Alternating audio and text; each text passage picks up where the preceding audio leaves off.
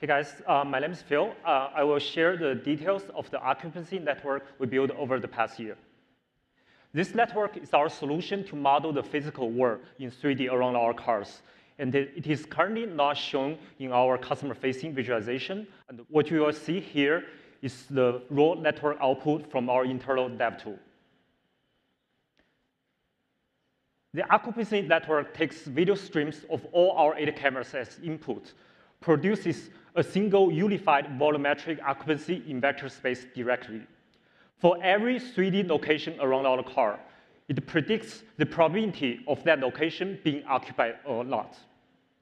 Since it has video context, it is capable of predicting obstacles that are occluded instantaneously. For each location, it also produces a set of semantics such as curb, car, pedestrian, and road debris as color-coded here. Occupancy flow is also predicted for motion. Since the model is a generalized network, it does not tell static and dynamic objects uh, explicitly.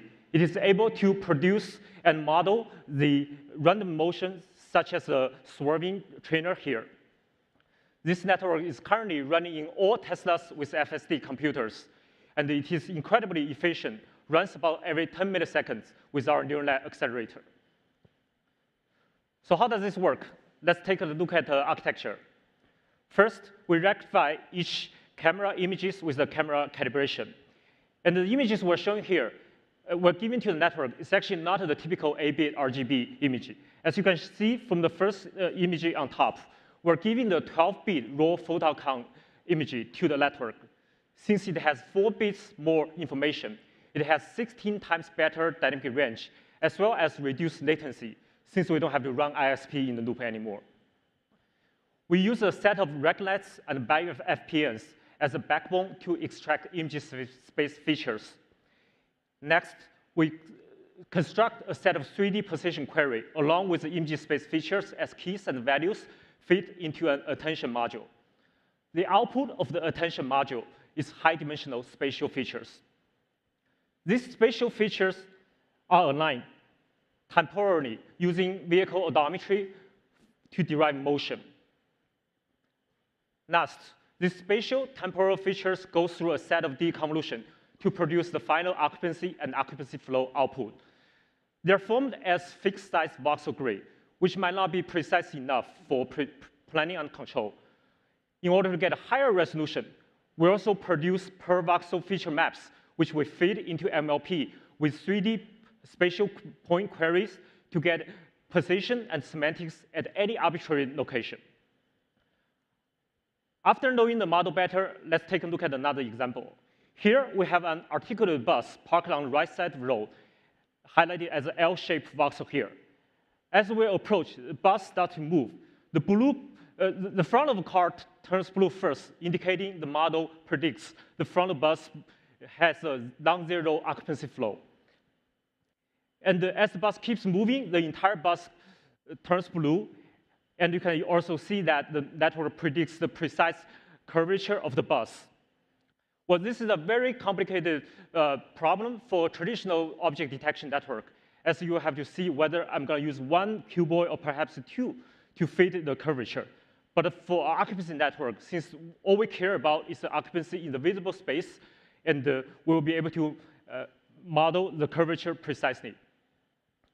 Besides the voxel grid, the occupancy network also produces a drivable surface.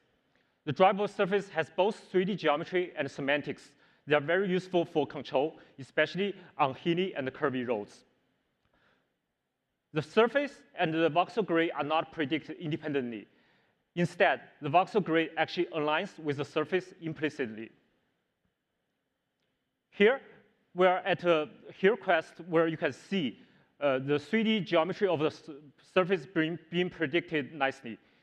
Planner can use this information to decide perhaps we need to slow down more for the Hillcrest.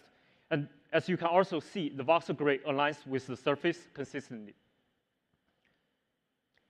Besides the voxels and the surface, we're also very excited about the recent breakthrough in neural radiance field, or NeRF.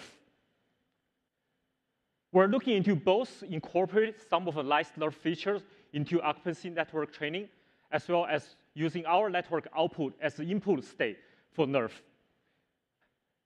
As a matter of fact, Ashok is very excited about this. This has been his uh, personal weekend project for a while. About uh, these uh, NERFs, because I think you know, academia is building a lot of these foundation models uh, for language using like tons of large data sets for language.